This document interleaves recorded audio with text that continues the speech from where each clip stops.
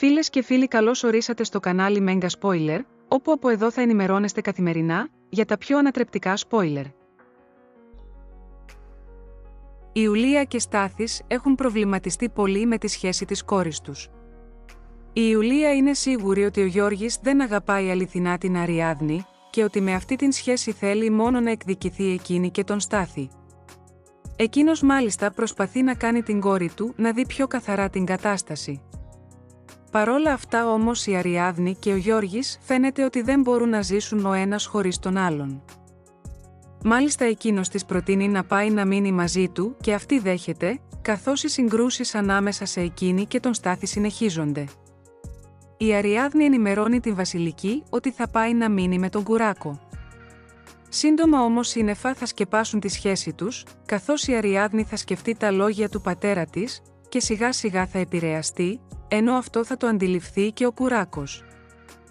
Μάλιστα, βλέποντας την έτσι θα τη ρωτήσει τι έχει και μήπως το μετάνιωσε που πήγε να μείνει μαζί του.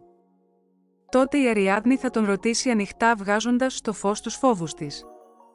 Θέλω να μου πεις την αλήθεια που του λέει, και συνεχίζει, με πλησίασες για να εκδικηθείς του γονείς μου, ή όντως με αγαπάς; Ο Γιώργης προσβάλλεται από την ερώτησή της.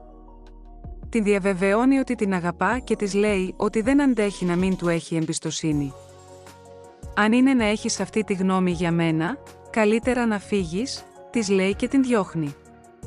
Στη συνέχεια η Αριάδνη πνίγεται από τις τύψεις και μετανιώνει για αυτά που του είπε. Τότε αποφασίζει να του ζητήσει συγνώμη, αλλά εκείνος είναι αποφασισμένος να την κρατήσει μακριά του. Εάν μας βλέπετε για πρώτη φορά, έχετε την δυνατότητα να κάνετε μια δωρεάν εγγραφή, να ενεργοποιήσετε και το καμπανάκι, για να λαμβάνετε ειδοποιήσεις για τα νέα βίντεό μας. Σύντομα κοντά σας!